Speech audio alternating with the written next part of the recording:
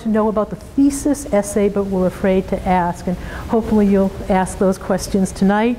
And hopefully I can just give you an overview and clarify some of the um, things that we do here at Hingham High School and, I might add, at Hingham Middle School uh, to get the kids ready and um, on the uh, where we want them to be in terms of their writing.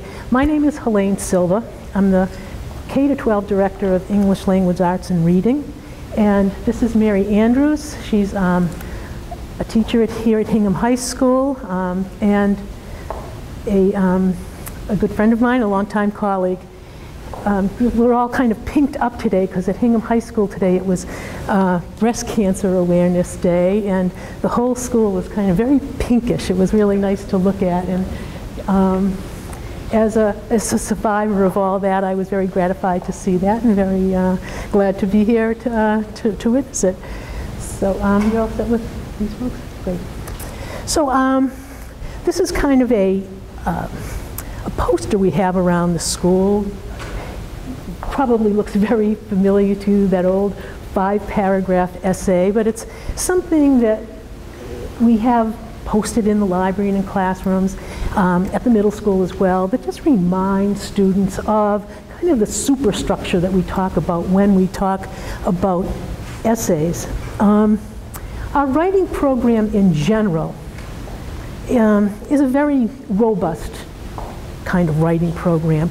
We engage students in a variety of different writing experiences um, all across the different modes of writing. They get experience with expository, persuasive, and narrative and descriptive writing. Some writing that informs, writing that persuades, some creative writing, um, a lot of personal writing, which is narrative informed, whether it's uh, to explain something or to recount a personal um, memoir or event. So they do get an enormous variety and scope of different writing experiences. But with that said, I will have to say that we've had a long-standing commitment to kind of drill down and focus on the kind of writing that we think will serve them well as they work through other classes in high school and as they work through their, um, eventually in the college environment, in their college courses. It's worked for us very well in the past, and um, we think that to focus and commit to doing, you know, one thing and doing it very well has just paid off enormously well for us. Um, and hopefully I'll be able to explain what that looks like to you tonight. Um, what we do in our classes, in writing and in English in general, is aligned with this Common Core framework. It's the Massachusetts framework for English language arts and literacy. It's based on, but not identical to the Common Core. Um, we've added a few things in Massachusetts uh, to the Common Core, mostly in the area of glossaries and in elementary reading. We have articulated pre-K standards uh, in Massachusetts that they don't have elsewhere in the Common Core. But our writing programs as well as our reading programs are aligned with the standards that are here. I know there's been a lot of talk in the news and uh, that you might have read about about the Common Core and some uh, feedback, but quite frankly, the Common Core standards for English language arts and literacy that have been adopted by Massachusetts are not all that different from the standards that existed prior to the Common Core. As a matter of fact, probably I would say that a lot of them were based on the type of standards that we had in Massachusetts. The one thing I liked about them is that they're a little more clearly articulated now and a little easier to follow. As a result, we really didn't have to do very much to our program to quote unquote align with the Common Core. Um, one of the main, main differences is there's a little more focus in, in terms of writing on uh, persuasive writing um, experiences, and we have made sure that our students in grades 6 through 12 um, get those experiences in their class. And I think that's a very good thing for them to learn uh, rhetorical um, principles and how to um, fold them into their writing. Anything to add to that? Okay. So, as I said, we're, we're kind of on that, and we have been. We really didn't need the Common Core to uh, tell us that those things were important. They have been there. I've uh, been in the English department here in Hingham a little over 40 years, and we've been doing just this stuff for the whole time that I've been here anyway. So can't really speak to uh, what went on before that. Um, so as I said, we're, we're kind of on that, and we have been. We really didn't need the Common Core to uh, tell us that those things were important. They have been there. I've uh, been in the English department here in Hingham over 40 years, and we've been doing just this stuff for the whole time that I've been here anyway. So can't really speak to what. One thing I'd like to show you, I'd like to start out with this, is um, the fact that, kind of the bragging rights we have, is that when kids go off to college, I'm always impressed by the fact that a number of them take the time to write back to thank our teachers. They, I've actually excerpted these from emails and letters that students who graduated from Hingham High School have taken the time to write back to their teachers and say, wow, I'm in college and I'm, I'm doing really well. Thank you for what you've done to, to get me here, to make it so easy for me. So we I actually go back to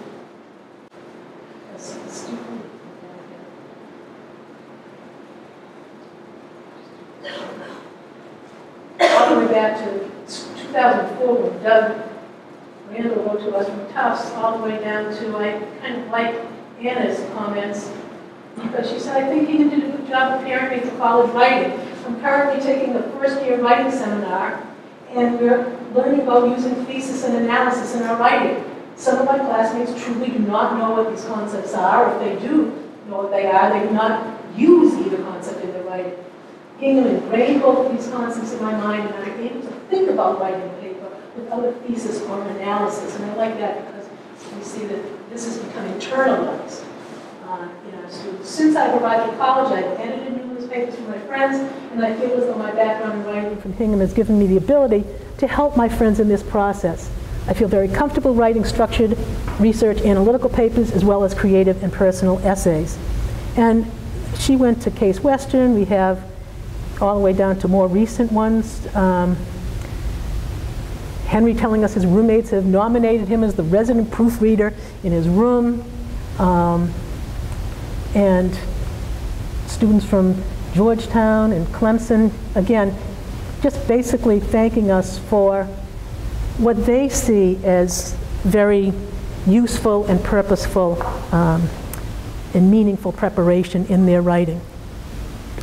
So with that, I just want to explain how we get these students uh, through Hingham High School, and so what we consider and very proudly say is uh, ready for college. Uh, the first thing I'd like to look at is this pink sheet, color-coded them, on the basic structure.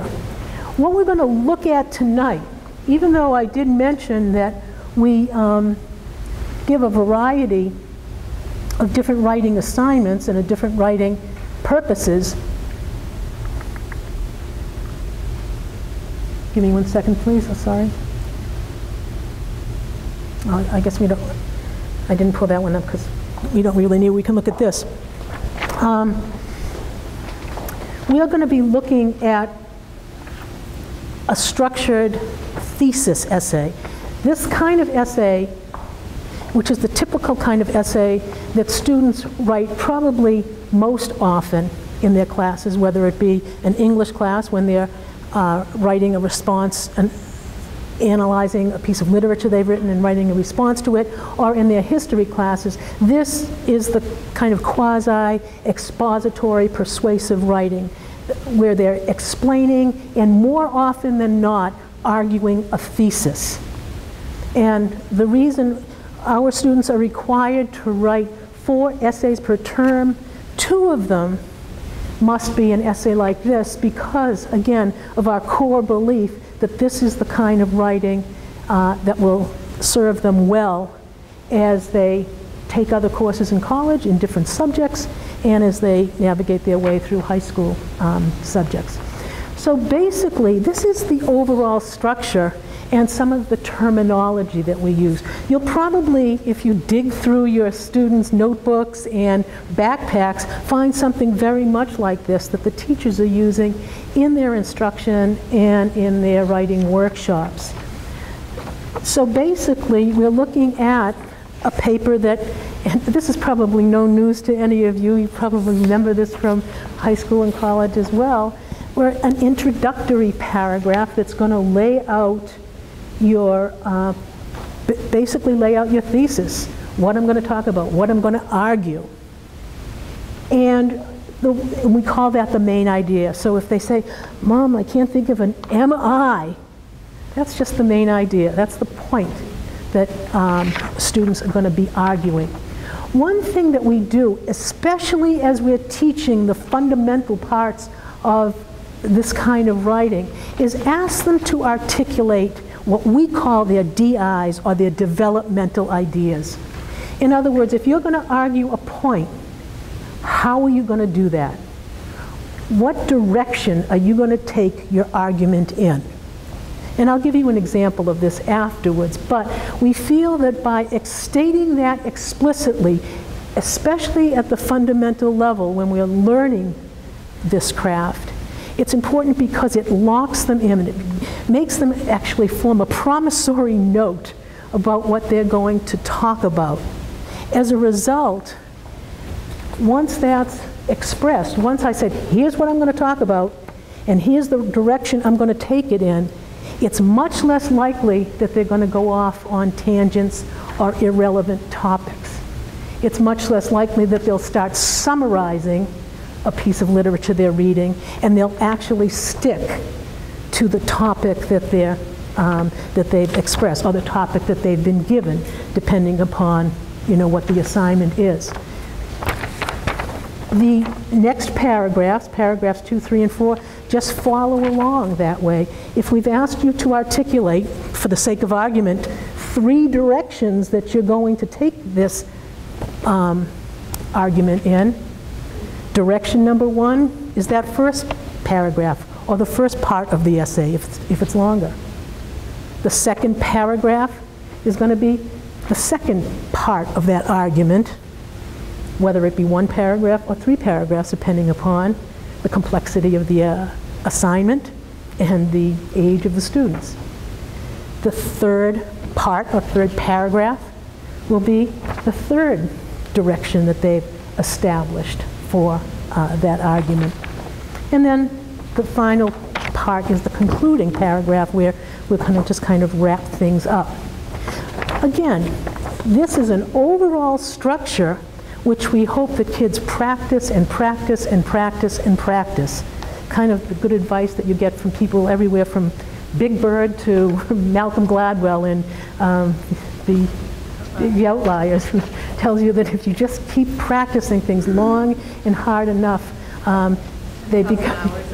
I think I think I, I think we, I think when you think about their experiences from grade six through grade twelve, we might just hit that. Um, so, and, and we have a Hingham graduate here who can even attest to it. I think.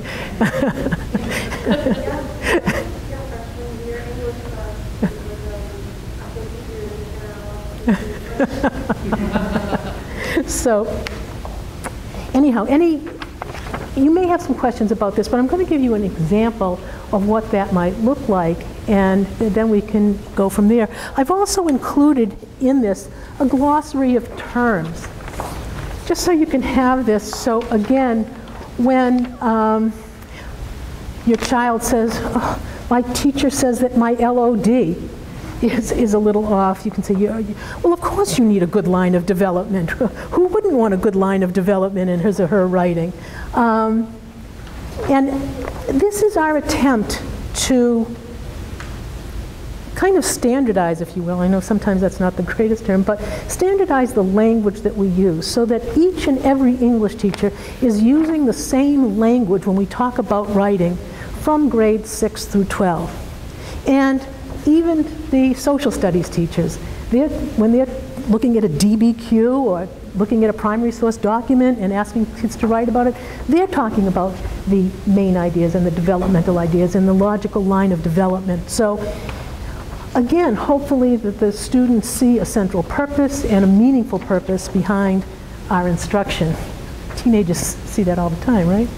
Yeah. so this is kind of a quick listing of some of the terms that we do use and some of the, just to make our correcting, to expedite our correcting a little bit, instead of writing line of development out each time, we write LOD. And the, and the kids pick up on this.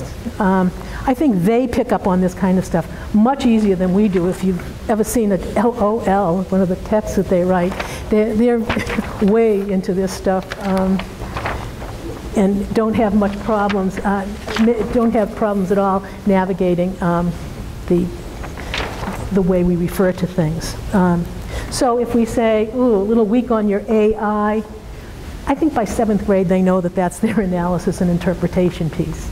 The same thing with um, uh, weak MI. Ugh, my main idea needs you know, to be beefed up. So um, we have common language, common language across the curriculum, and one thing that I'm very pleased with more recently is a very strong feeder system. We've integrated and adopted some writing instructional materials at the K through 5 level, which I'm finally satisfied feed into the program that we have in grade 6 through 12 quite well because um, one thing I like about the Empowering Writers program that the students are using in grades K through 5 now is the fact that it talks about different types of writing and the structures that are implied by those types of writing. So at the elementary level, when we're talking about an expository or an opinion, which will become a persuasive essay as they get older, we, we talk about having a topic and what we call the pillars that support it. So children as early as second grade are picturing what an expository essay looks like, knowing that, ooh, there's a big idea up there, and there's columns that support it. And again, I'm very, very pleased to um, have that kind of instruction at the elementary level uh, because I think it sets a very good framework and a very good basis for what we're going to learn later and apply to more complex curriculum and more complex ideas. Um, what I'd ask you to look at right now is this sample essay, just to show you how we go about um, how we go about instructing this type of structure and these types of principles uh, as it relates to an essay. Now, I, I made this up years ago when I was doing a writing workshop with a ninth grade class. I was actually um, teaching them some structural principles because the, the material, the, the level of explanation was getting more difficult um, as we were looking for uh, ways to support not only our main idea, but the developmental ideas that went along with them. As we go through the grades, um, we're looking to support that with textual evidence and then an analysis of that evidence, and that becomes a very complicated uh, task for students, especially when the literature is difficult. You're starting to talk about Shakespeare or um, Homer in the Odyssey, you know, that piece gets thrown into the mix as well. So not only are we talking about writing, but we're talking about comprehension and analysis and synthesis of uh, information. So it becomes a very complex task. So I try to simplify it for the students, and we use this as um, kind of a peer writing workshop one day. I, I used Harry Potter was all the rage at the time, so I used Harry Potter as an example. And what I'd like to show you is how I went about the instruction in that. Oops. What we did was we color coded uh, the parts of the essay, the, the significant aspects or the structural pieces of the essay that I thought were important. So if you look at the introductory paragraph, Harry Potter, the young, dauntless, and very British magician, has captured his hearts and imagination of millions. Ever since the publication of Harry Potter and the Sorcerer's Stone by J.K. Rowling, this young wizard has charmed readers with his bravery, his honesty, and his humility. However, Harry is not the only character with such admirable qualities. One of Harry's best friends and schoolmates, Hermione Granger, has the best leadership skills of any of the other characters in the novel. Now, the, the prompt might have been, you know, which of the characters in the novel we're reading has the best leadership? Now, rather than asking for a summary of the story, um, students have to answer that question and argue their point of view. So the thesis statement, the MI of this essay is one of Harry's best friends and schoolmates, Hermione Granger, has the best leadership skills of any of the other characters in the novel. And that's what, as a teacher, as an instructor, I'm going to expect this paper to be about. So as soon as um, a student starts writing a summary, that's when we can say, no, that's not your main idea, you're off topic. Um, that's not what you're arguing. And furthermore, if you notice, that's what I'm going to argue. It's Hermione that has the best leadership qualities. How am I going to do that?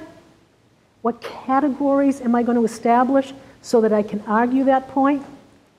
Her careful attention to her detail, her ability to make decisions. And let me see if I can just. I think if I take this down a little bit, in terms of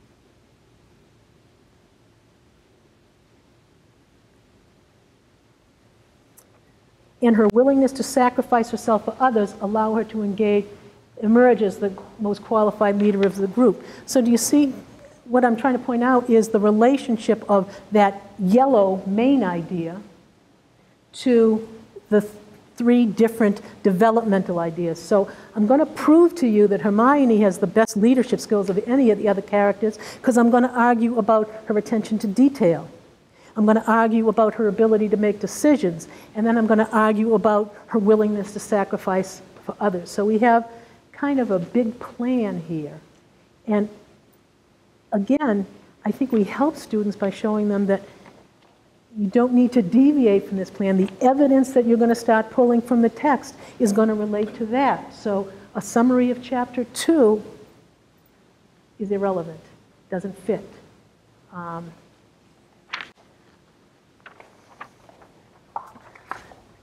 again, I'm not doing a very good job of getting this up on the screen for you in a good way. So at the end of this, without Hermione's ability to keep her friends in line, one may wonder if Harry would be the successful hero that he is, just winding that up. And I guess the, the thing that I'd like to point out to you now is the next section of the essay. In a number of cases, Hermione's careful attention to detail establishes her as someone with leadership potential. Now, in order for, in what, the way we talk to essay, about essays with students is that in order for the essay to have coherence, in order for it to be unified with their main idea, we should see a reference back to the main idea because, again, you're arguing that main idea. Keep your eye on the prize. Don't lose sight of that main idea. And it needs to be integrated with that developmental idea. So, for the first either for the first developmental paragraph or the first section, I'm going to be arguing the integration of those two ideas. How does Hermione's careful attention to detail make her such a good leader? So see what's happening? They're, they're really focused, and now they can start pulling evidence that relates to that idea. Not just random quotes, but details, examples, explanations, and quotations that support that particular idea. So it might read something like, in a number of cases, her careful attention to detail establishes Hermione as someone with leader potential. When Harry and Ron first meet her on the Hogwarts Express, one of the first things she does is fix Harry's glasses that have been broken for years. A good summary of something that relates to that main idea integrated with that developmental idea. While Harry's sloppy use of tape to repair these mangled spectacles indicates that he doesn't think much about the condition of his glasses, Hermione's immediate focus on the problem, which she quickly remedies with superior knowledge of charms, illustrates her ability to expertly assess and take charge of a situation. Notice the kind of references back to that main idea with, you know, vocabulary that relates, uh, synonyms, to recall that main idea. Later in the story, during a charms class, Hermione helps Ron perfect his levitation technique by calling his attention to the correct pronunciation of the charm. She tells Ron it's Wingardium Leviosa, not Wingardium Leviosa. Um, and again, we cite the page because it's a direct quote in proper MLA format. Although Ron is a bit put off by her bossiness, her instruction and careful pronunciation becomes the only hope Ron has for working the charm successfully. Finally, her careful observation during the Quidditch match enables Hermione to save both Harry and the game.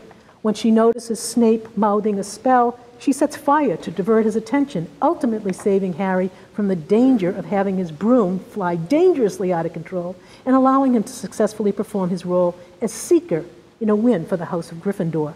Clearly, Hermione is someone who, quote, sweats the small stuff but it's this most careful attention to the fine details that enables her to effectively help and lead others. So, as you can see, even though there is summary, there is explanation, uh, there are details and examples and quotations, they're all carefully extracted from the text, synthesized, and you know, first of all selected, and then synthesized to support that argument. Now, this is a very simple example. Um, you can imagine what happens when, again, the text in question becomes Macbeth and the symbols, and or um, a poem by Emily Dickinson, and the, the DIs become her images and metaphors and um, references uh, to things, different, you know, things like that, um, when they become literary techniques again, depending upon the age and the developmental level of the students, uh, these main ideas will become more complex, as will the developmental ideas.